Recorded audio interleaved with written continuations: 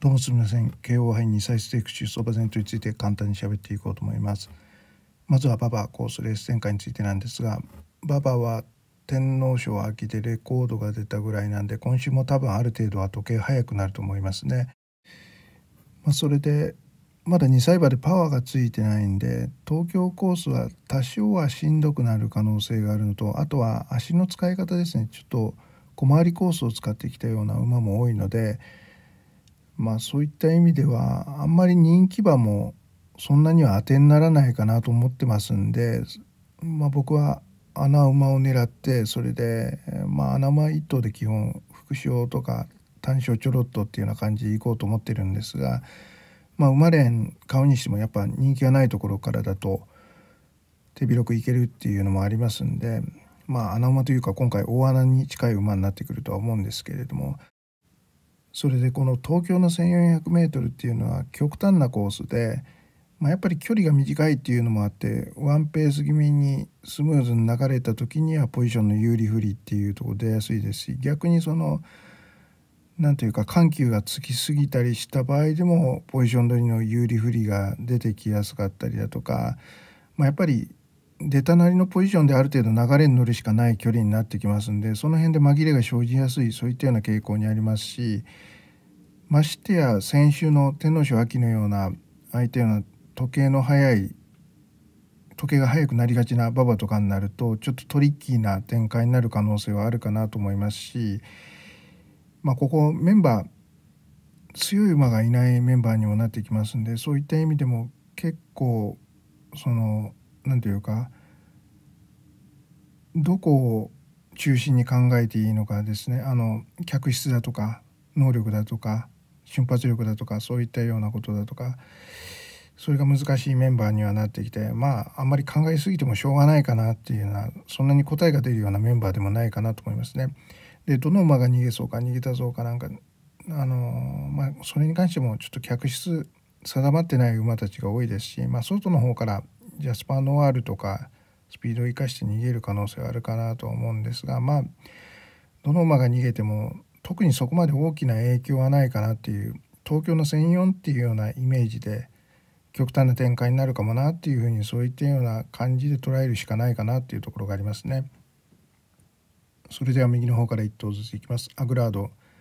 アグラードはまあここ2戦の内容なんか見てても素質は感じるんですけれどもただ気になったのは直線の入り口で追い出した時にもたつくんですよね。まなので直線の後半ですね加速が突き出した時の瞬発力に関してはここではトップクラスかなと思いますんでその直線の入り口でのもたつき方が響かないようなレース展開ですね。前に壁ができながらラスト300200ぐらいまで行ってそこから加速がつくっていうような感じだと馬群も問題なさそうな馬ですし津村騎手ジョッキーもうまいのでそういった意味での一発の魅力はあるんですがやっぱりそうですね。その辺の欠点とそれと追い切りがあんまり良くないですね。ちょっと気象的に難しいところとかなんか余計な動きというか余計なところに力使っちゃってるなっていうような感じが出ちゃってるんでその分なおさら操作性が低い難しい競馬になる可能性もあるかなと思いますね。まあレースに行ったら落ち着く可能性はありますんで一応抑えた方がいいとは思うんですがロジリオン。ロジリオンはまあ血統的にも地味でリオンディーズということあとは相手関係重賞使ってきたわけではないので全然人気はないんですけれども、まあ、ただレース内容がいいですね。まあ、初戦なんかでも結構後ろの方から追い込んできて、まあ、あの加速がついてからの足もいいですしほぼ勝ちに等しい内容でで未勝利戦勝った時なんかに関しても好意で流れに乗ってスッと抜け出すっていうまあ戸崎騎手がうまいっていうのはあるにしても馬場も問題なく、まあ、結構センスのいい競馬してるなっていうところがありました。まあ、それで、まあ、血統的にも地味ですし馬体的にも地味なんですが動きに躍動感があるというか、まあ、しっかりとしてね、まあ、ちょちょっとなんか勢いが良すぎて馬が浮いちゃいそうになったりとかそういうイメージも多少あるっちゃあるんですがまあでもレースに行ったらしっかりと安定した走りしてますんで、まそういった意味では結構期待値が高い馬かなと思いますね。オーキッドロマンスオーキッドロマンスは能力はあるんですけれども、まあ、前走なんかはいかにも中山での競馬っていうような感じで直線伸びる時一足で一気にかわせちゃってるんですよね。まあ、他の馬たちが伸びてなかったっていうのもあるんですが、まあ、そういう一足でかわせるようなはまり方してるんで今度は東京コースなんで直線長いですし差がありますし足の使い方考えなきゃいけないんですよね。なので、まあ、直線入っても前に壁ができたりなんかして不利受けるぐらいでもいいんで足が溜まってラスト200ぐらいから一足でっていうような競馬だったらいいんですけれども直線の入り口から前が開いたりなんかするとちょっと内田騎手だと持たすのが難しいんじゃないかなと思っていて早め足使っちゃうと2段階3段階長く足が使えるイメージが湧かないっていうところがあって、まあ、うまくためが効けば一足で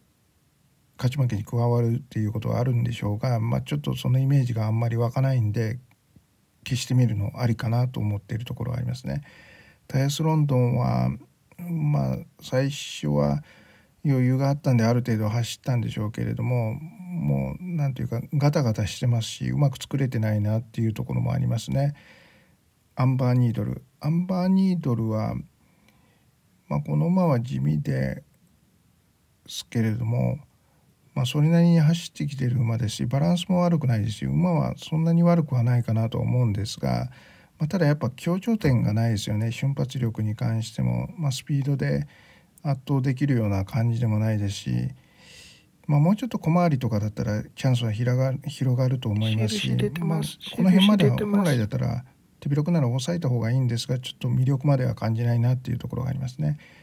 ゼルトザーム。ゼルトザームはまあ重賞勝ってるんですが行為がですねちょうどいい感じでばらけててそこから外から理想的な伸びができたんですよね。まあ、もちろんこの馬に能力があったんですけれども、まあ、でもいろいろ馬場で他の馬たちが苦しんだ中でっていうところあとは北海道の力のいる洋芝でもありましたんでそれと比べて今回は条件も変わりますしっていうところなんですよね。ままあ、ただ能力素質自体はありますんで、まあ、今回も流れに乗ってしぶとくパワフルに伸びてくる可能性はあるっちゃあるんですが、まあ、あんまり小足を使えるイメージだとか器用なイメージはそんなにはないのでまあなんかどうなんですかね。馬群の中からとかスッと行かなきゃいけない時にスッと行けるかどうかとかその辺の不安がありますんであんまり今回の条件が合うとは思わないんですがまあでも能力は足りますしダートの方がいいっちゃいいんですが芝でもやれる馬だと思いますね。コラソンビートコラソンビートは、まあ、このコースでの乗りやすさというか素直でバランスがいい馬っていうような感じなのでいいんですが、まあ、ただやっぱパンチが足りないというか何か抜きん出たものがあるかというとスピードもまあまあ瞬発力もセンスも器用さもまあまあっていうような感じで、まあ、まあ器用なところが一番いいかなとは思うんですけれどもやっぱりその素質的なものとかあとはパンチですねそういったところでの不安がありますんでまあこの距離だと悪い方向に向いて瞬発力が必要になったりあとはちょっと不利受けてそこからまた伸びなきゃいけないとかそういうようなスムーズさを変えた時にはちょっと欠点というか能力が足りないところが出るかなと思うんですが、まあ、ただバランスの良さスピードセンスの良さっていうところがあるんでいいポジションからこの専用を存分に生かしてスッと抜けるような競馬ができれば上位争いはできるかなと思いますんで、まあ、掲示板以内に来るということに関してはこの馬が一番信頼性が高いかもなっていうところはありますね。ミルテンベルクミルテンベルクは、まあ、小倉の方では、まあ、確かに外から追い込んだもん勝ちみたいなはまり方してましたんでその中で外から追い込んだものなんではまってはいるんですが、まあ、ただ勝ったアスクワンタイムほどははまってないですねアスクワンタイムの方が後ろから外から追い込んでますんであっちの方がはまってるんでそれと比べてミルテンベルクはアスクワンタイムに早めに外からワッと来られちゃったんで勝ち目がない形になっちゃったんですよね。まあ、それでも差し返すように伸びてたように脚力瞬発力がある程度ありますしまあ、今は競馬に行って走る馬だなっていうような印象がありますね。まあ将来的には多分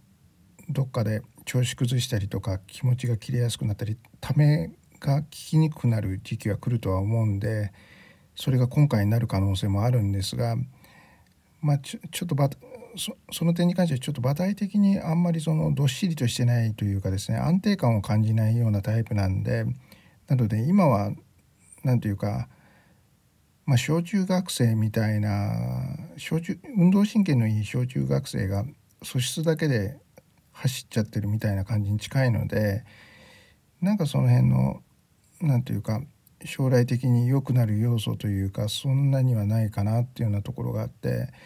まあ、今回もその勢いだけで競馬ができるかっていうところですね。まあ、ただモレイラ騎手で騎手もいいですし、まあ、今は走ってきてるっていうところもありますんで、まあ、動きもそれなりの追い切りをしてましたんで試さえ聞けばとは思うんですがただ足の使い方が雑すぎると長く足が使えるのかなっていうそういう馬体的なその安定性というかですねいい足を安定して使えるっていうそういう根拠がないのでその辺で何というか半信半疑になっちゃうタイプかなっていうところはありますね。バンドシェルバンドシェルは人気ないんですがこの馬なかなかいいと思いますね。エネルギーがあってパワフルでもありますしまあただそうですね。東京コースなんでやっぱりある程度上手に足溜めて上手に足使わなきゃっていうところがあって右回りとかだとそうですね。前走みたいにわっと一足でかわしたりできるんですがその辺をうまく東京でもごまかせるかっていうところではありますねなのでもうちょっと内目の枠引いてたら買いやすかったかなと思うんですが外回ってまともに回ってきて雑に直線の入り口から足を使うっていうような形だとどうかなと思いますんで、まあ、先行してばらけるとか逃げるとかそういうような形だとある程度乗りやすいとは思うんですがやっぱり団子状態で外回って上手に足が溜まるかというとその辺の不安はあるかなというところはありますね。タイガードラゴン。タイガードラゴンは地味な馬なんですがまあゆったりとためが効くような感じでレース内容なんか良かったですね。安定感を感じました、まあ、ただ使っていくうちにちょっと使いべりに近いような感じになっていく可能性も高いので、まあ、今回追い切りを見た感じだとそこまで落ちてはないんですがまあ上がり目がある感じでもないですし、まあ、新馬戦ぐらい走れば足りるんですがどうなんですかね。使って2戦目の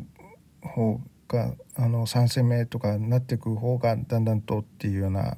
ちょっと微妙なところはあるっちゃあります。まあ、まあでも新馬戦ぐらい走ればですね全然能力足りますね。アスクワンタイムアスクワンタイムは、まあ、小倉2歳ステークスはいかにも小倉2歳ステークスでハマるパターンですね。ロンドンプランが去年後方一期っていうような形で買ってそその後いまいちっていうような感じですよね。まあ、小倉2歳ステークスって後方一期が結構ハマりやすいんですよね。